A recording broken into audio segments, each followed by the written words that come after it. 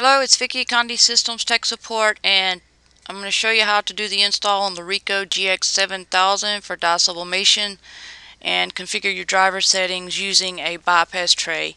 Um, so first off we we will need to have an ICC profile and uh, to have an ICC profile you have to send an email to support at conde.com receive your profile and um, then you would be able to uh, continue the setup by going to the Conde web page and that's at conde.com and from the home page you would click on to support and support is where you're going to type in your username your partnernet username and password. So I've already done that. So now that I'm in support I see these menus here and the menu in particular or the actual one I'm looking for is Ricoh support and then uh, from there I need to know what my PC is. So to find out what operating system and uh, what bit system I have I left click on my start menu and right click on my computer left click on properties and here I can see that I have a 32-bit operating system and it's Windows Professional. So I'm going to X out of that.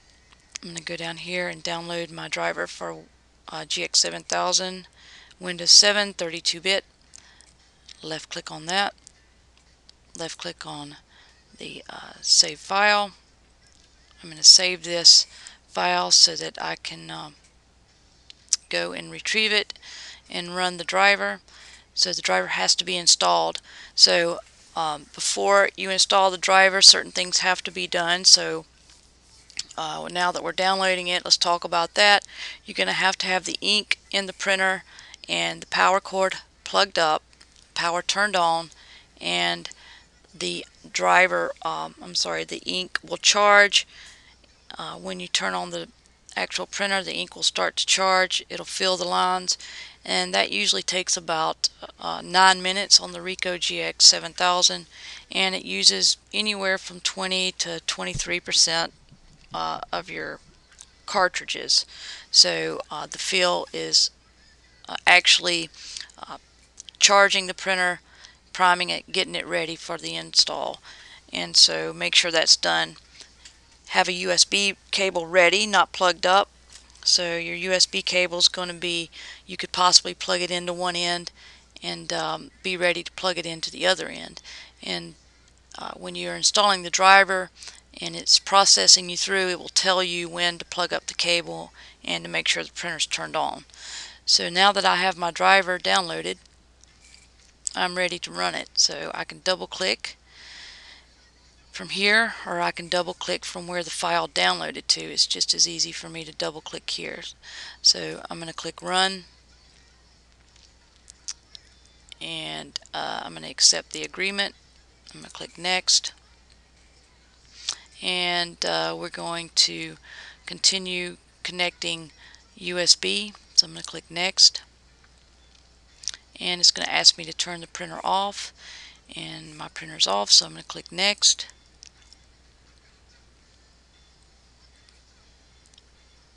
And once it gets to 100% I'm going to be able to uh, it's going to tell me to plug up my cable.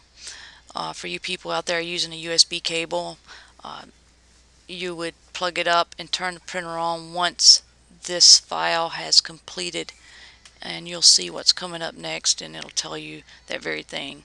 So um, it's going to tell you to confirm that the printer is connected USB cable and to turn the power switch on. Now um, what you want to do at this time when you connect the cable is make sure that you connect your USB cable to a port that's stable and the stable ports are going to be located on the back of your tower which is your um, your computer tower. The front ports will not be as stable so uh, I recommend not using those front ports. Um, you could encounter a problem uh, getting the install. Also data uh, does not send it's not as powerful using the front ports so I encourage you not to use a hub and not to use a front port. Laptops just connect to the side. Any USB cable is fine. So um, now it's looking for a USB connection and uh, once it finds it it'll tell you that the uh, driver software is installing down here at the bottom right corner sometimes that takes a few minutes however uh, if for any reason it doesn't locate it um, you would double check your cables make sure your power's turned on those kind of things and then if it still doesn't connect you would click stop auto detecting now I know my printer's connected um, already so I'm going to be able to uh, go in and enter my IP address and all, but I do want to show you this part of it. So I'm going to click um, stop auto detecting and uh, I will configure my settings um, with my IP here shortly. So again, uh, most people are going to be using USB cable, so you would want it to find the driver. And if it doesn't find the driver, you can still stop it and go and select it in the ports, and I'll show you how to do that. So now uh, I'm just going to click next here and there's a job printing now. I'm just going to click OK. That's alright and I'm going to click finish. And so now I'm ready to go configure my settings and I'm going to go to my start menu and left click on printers and devices. And I'm going to look for my GX7000 that I just installed. And um, once I find it I'm going to right click on it. Here it is. And I'm going to go left click on printer properties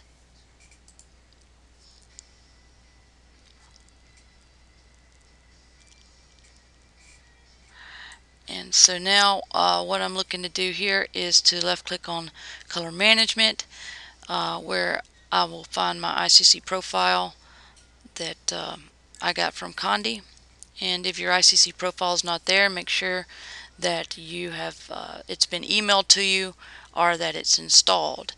Uh, and to install it you would just simply right click on the file and then left click on install profile so from Windows 7 I have to click the flyout come down and find my GX 7000 gel printer and I'm going to left click on use my settings for this device. And if my profile isn't here I would click add.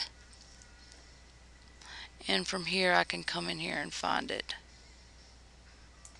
And I would just left click on the uh, ICC profile for the GX7000 which is going to say GX7000 DyeTrans high quality ICM and I would click OK but I already have it.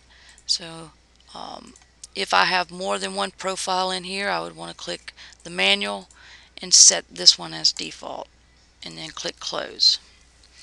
So now I want to left click on advanced.